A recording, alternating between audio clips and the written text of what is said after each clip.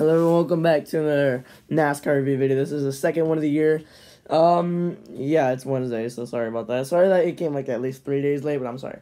Um, how we usually do these reviews, I, am just gonna jump right on into it. I usually just, okay, I don't know. Hold up, hold up. Okay, there. I came prepared today, so how I will do these reviews I'll, I'll go over every single race, uh, from the weekend, rank all of them, and then give my full thoughts on the rating. Well, like I'm gonna be going over a race, starting off with the Truck Series race. Um, it was a good amount of wrecks, and then at the end it just became kind of stupid with the debris cautions. It was just really, really kind of a really balanced race. Uh, Christian Eckes won stage one. Actually, Tyler Ankrum came in second in both stages. Uh, Eckes won stage one. Kyle Busch won stage two. Um, yeah, nothing really much happened. No, nothing too bad. Nothing too horrible or anything. Not like it was just like a kind of a bad, not not really bad. It was uh, more mid truck race. It was I don't know. It was weird, but yeah, son of a gun. Sorry. Um, nothing to really say about this race. I didn't really enjoy it that much, especially the Xfinity race. Well, I'll go over that right now. I'm gonna go over the top ten finishes from here. Kyle Busch was the winner at Atlanta. I'm not surprised. It was a kind of a bad finish either way. Simon just continued and tried to make a move. Like, it was just dumb. He finished the second. Uh, Corey Heim finishes third. Taylor Gray fourth after that flip last weekend. Um, Nicholas Sanchez got fifth. Kaden Honeycutt got sixth. Dang. Ingram seven. Caruth with another top ten. Daniel Dye ninth. And Dean Thompson rounds out the top ten. So, yeah.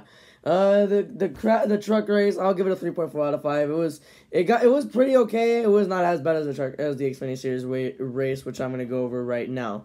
Uh, Austin Hill did win the race, which dang it. Um, not dang it. Stage one went green all the way. Uh, Jesse Love won stage one.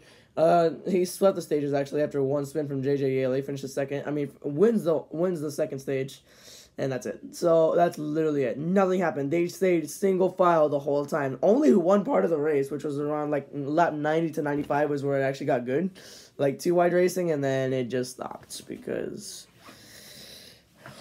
who knows? Let's go over the top 10 finishers. Austin Hill did win the race, which, not wow. Chandler Smith got second. SVG got third, and awesome for him. Sheldon Creed fourth. Retzlaff fifth. Jeremy Clements with the sixth place finish. Anthony Alfredo seventh. Jeffrey Earnhardt eighth. Ryan Truex ninth, and Sammy Smith rounds at the top 10. You only had about 14 cars on lead lap, but you had literally almost all of them except for Anderson finish the race. That's how uneventful this race was. You had Hailie Deegan finish clean. Hailie Deegan. Dang. This race, it, it was atrocious. Two out of five. It was absolutely dumb. And now, the cup race, which I gotta say, for, from the first two, I was at the carnival during this race. so, yeah, I thought this race sucked at the beginning, but it did not. So, the whole race started actually, like, kind of badly, because I'm gonna put this video on your screen right about. Hold on. now, look at this right here. Here they go in turn one. And look at that. Austin Dillon has already wrecked 14 cars. 14 car pile up in turn freaking two. Ugh. hate to see it. You actually hate to see it. 14 cars, though, which is actually crazy. 14 of them. I can't name all of them right now because I don't have a list. But my gosh, like, this was, like, what? What? Like, and, but damn, not, not, nothing too big actually happened after that 14 car pile up. It was actually like an awesome, awesome, awesome race. McDowell won this first stage as well. Cindric won stage two, which is amazing.